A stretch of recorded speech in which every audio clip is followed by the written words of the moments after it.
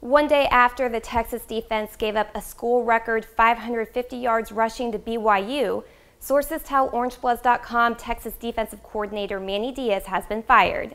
Diaz will be replaced by Greg Robinson, who was the Longhorns defensive coordinator in 2004 and was just hired before this football season as a football analyst by Mack Brown. Following the Longhorns' loss to BYU, OrangeBloods.com asked Mack Brown if he thought Diaz would be coaching against Ole Miss, the Longhorns' next opponent. Here's what Brown had to say.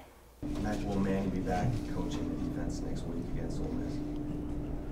I hadn't even gotten out of the game, so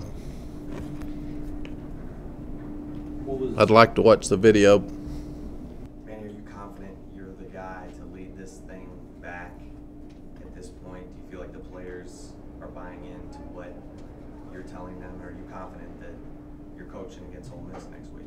Oh yeah, that's that's not even that, that, what we're. It's not even a topic of what we're talking about right now.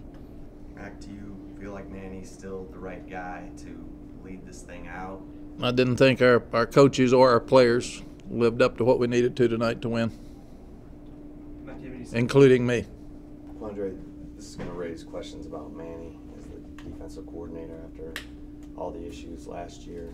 This was a school record for rushing yards given up in a game. Why is he still the right guy?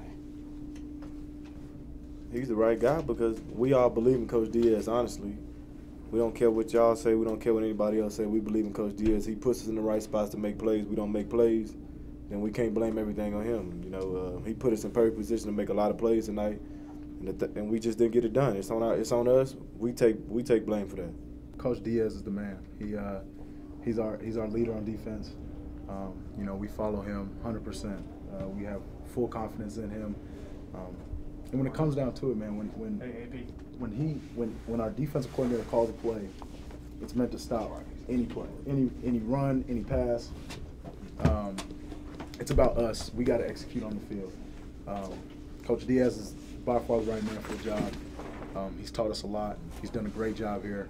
Um, but when it comes down to it, we've got to execute on the on the field. After OrangeBloods.com first broke the story, Texas released a statement from Mack Brown saying, quote, Our performance on defense last night was unacceptable, and we need to change that. Greg will be here tonight and get with the staff and players to start preparing for Ole Miss, end quote. For all the latest Texas news, go to OrangeBloods.com. Reporting on the Longhorns, Taylor Gaspar, OrangeBloods.com.